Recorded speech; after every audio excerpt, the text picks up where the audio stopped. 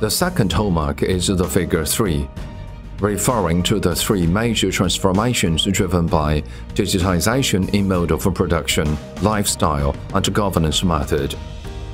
Hence comes the integrated smart governance hallmark of Zhejiang. Please show your health code has become the most familiar reminder you hear when entering public places as COVID-19 prevention and control is on a regular basis. This inconspicuous QR code was first originated in Hangzhou. By creatively applying the combined data of the map, the code, and the index, Zhejiang has built a smart and sophisticated digital wall against the pandemic.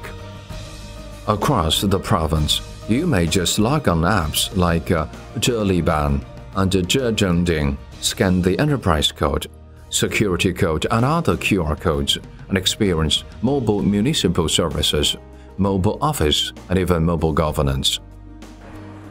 以前来医院看病最怕的就是排长队，现在可以通过手机公众号预约时间，准点过来看病就可以了，而且在机器上可以直接进行手机支付，非常方便。为数字化改革点赞。以前 在材料准备齐全的情况下，还需要五个工作日才能拿到营业执照。那现在的话，只要半个小时就能拿到工商营业执照，为浙江政务服务点赞。